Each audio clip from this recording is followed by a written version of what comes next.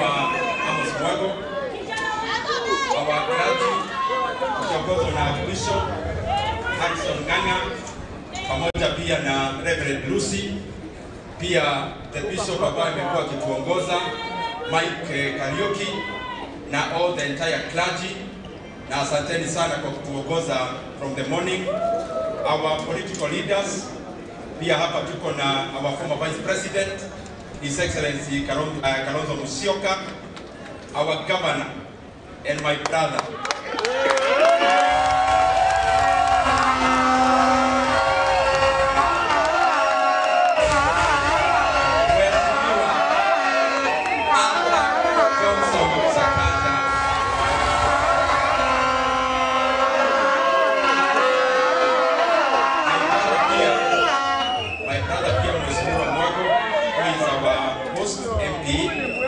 our host MCA, Mheshimiwa Kwenya, pamoja na all the other MCAs, viongozi wote wa Nairobi Business Community tukiongozwa na Bwana Ben Mutahi na pia chairman wetu wa maombi ya leo Mheshimiwa uh, Stephen eh, Wampia na viongozi wote wa Nairobi Business Community, wanabiashara wote wa Nairobi na Kenya. Bwana Yesu asifiwe. Wanabiashara oye! Asanteni sana.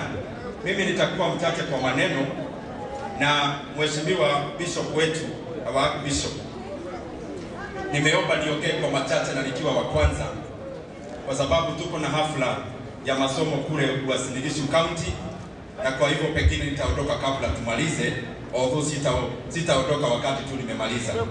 Ya kwanza, nataka nitambue sana wanabiashara wa Nairobi, na bishop, nikueleze, walikuja kwa ofisi yangu wakiongozwa na bwana Mutahi na pia chairman wa maombi ya leo, na tuliongea mambo mengi, na ile nimejionea siku ya leo, I can tell you authoritatively I could never have been at a better place today than here.